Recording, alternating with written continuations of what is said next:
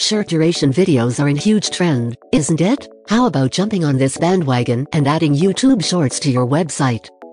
Looks interesting and engaging, right?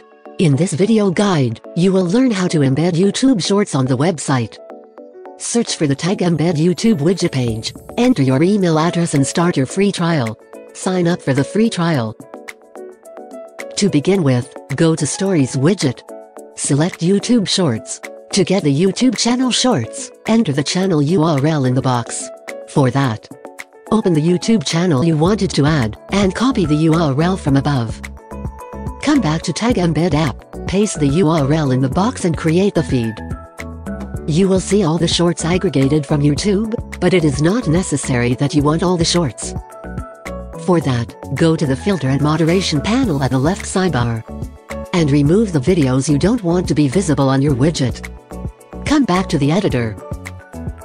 Now, before publishing your widget, you can go to the Personalize panel at the left sidebar. And choose a theme for your widget. Which best suits the style of your website. Tagembed provides you with various layouts that help you enhance the grace of your website. You can choose the best layout that suits your website theme. After selecting theme, you can also change the background, add a banner, make changes to the card style, and in the theme settings you can make dedicated settings to your theme from wide options available. Now you have a personalized YouTube Shorts widget. It's time to embed it on your website. Choose your website CMS platform from the given options. Here we choose HTML as an example. Manually adjust the width and height of the widget. And copy the embed code. Go to the backend of your HTML website and paste the embed code in the body tag. Save the changes.